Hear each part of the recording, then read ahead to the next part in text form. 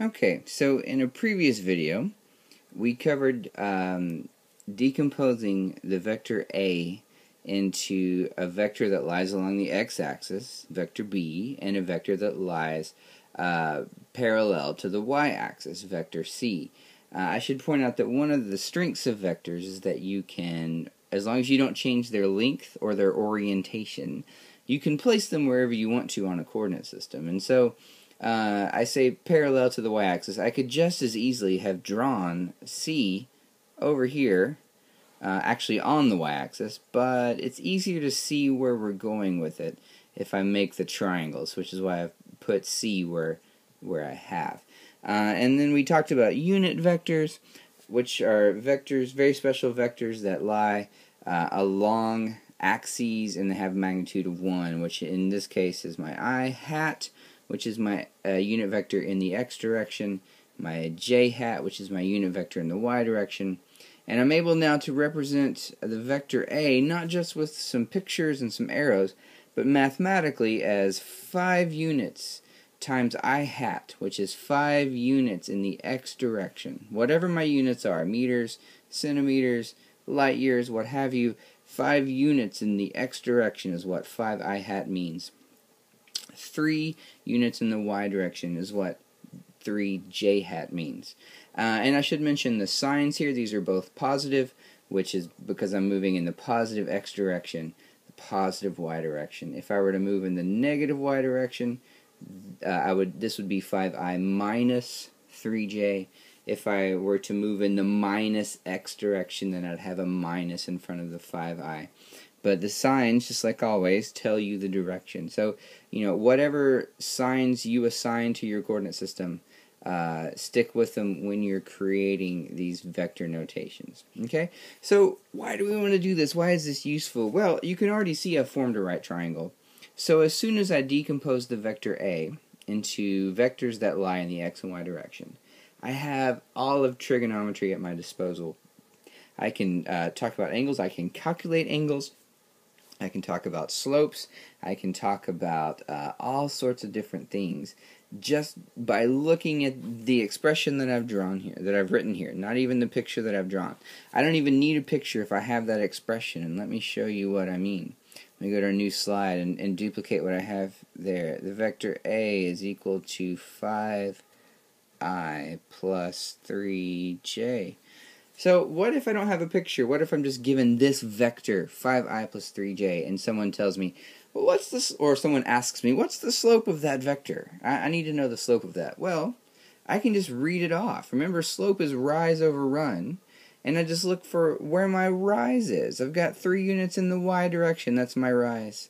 And then I've got 5 units in the x direction, that's my run. So I can immediately tell you that the slope of that vector is just 3 fifths. What if someone asked me, well, what angle does that vector make with the x-axis? Well, uh, if you remember from trigonometry, the tangent function is um, the opposite side to an angle over the adjacent side, right? Opposite over adjacent is the tangent function. So I can immediately, just by looking at this, say that my opposite side, if I'm talking, I guess I should look at the picture, if I'm talking about the angle theta here, because the question was, what angle does this make with the x-axis? That's the angle theta that I've written here. Um, so uh, I can immediately say, well, that's the opposite side over adjacent. Opposite to that is going to be my one going up, which is my y, and adjacent is going to be my one going horizontally, which is my x-axis. So I can immediately say that the tangent of theta is just equal to opposite over adjacent, right? just like my slope. No big deal, my rise over run. And then I can take the inverse tangent of 3 fifths and I can figure out what that angle is. Uh, somebody might ask me, well, what's the magnitude of this vector A? I mean, do I need to get out a ruler and measure it? And I should say, I should mention that if I've done this carefully, you absolutely can get out a ruler and measure it. If I've been very careful with my graphical representation, a ruler will tell you the magnitude. But let's say you don't have a ruler, and let's say you haven't drawn a picture, and somebody says, well, what's the magnitude of this guy? Well, I mean, if this is uh, in if the five is only in the x direction and the three is only in the y direction, then those two lines, those two vector components, that's a, that's a term you need to know, the components of vector A, uh, 5 in the x direction, 3 in the y direction. Well, those components are going to form a right angle. And then I immediately go, aha, I have a right triangle. So the magnitude of A, which is typically written like this, absolute value, those look like L's. Sorry, I'm doing this with my finger. The absolute value of A is then just 5 squared, and whatever units are attached to that, plus 3 squared, quantity square roots right? That's just the Pythagorean theorem. Because notice, my vector A is my hypotenuse.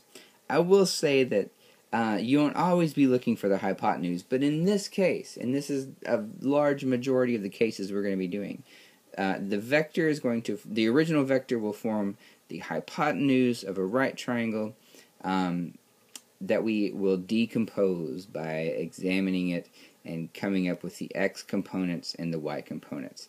More often, we're going to be given in this form the x components and the y components and be asked to find the full vector. You can go either way, right? You can go through the trigonom trigonometry functions to find the adjacent side and the opposite side, uh, and you can go through Pyth the Pythagorean theorem to find the um, the magnitude of the hypotenuse, which is in the vector. So just by decomposing it like that, I get a lot of stuff done. I get I'm I open up the whole machinery that I've developed in my pre-calculus or trigonometry classes uh, to being able to work with this vector.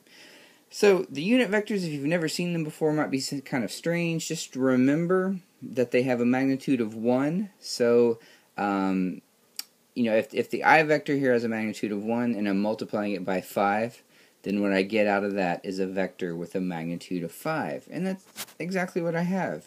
If I look at the vector b here, it's a vector with a magnitude of 5. Because I multiplied 5 by 1, right? The magnitude of that vector is 1. So I multiply that by 5, and then I get this vector that's 5 units long. And you remember that the direction of i hat is always in the x direction the direction of j hat is always in the y direction. And if you're in three dimensions, the direction of the k hat vector is always in three dimensions. I mentioned this in the last video. I'll say it here briefly in case you uh, have forgotten or didn't watch that. Um, alternative forms of these, let me go to a different page. Some textbooks will write i hat as this, x hat. I think that makes a lot more sense, but we're going to follow the i hat convention because that's probably the one you will see the most then, of course, j hat is equal to y hat. Uh, k hat is then equal to z hat.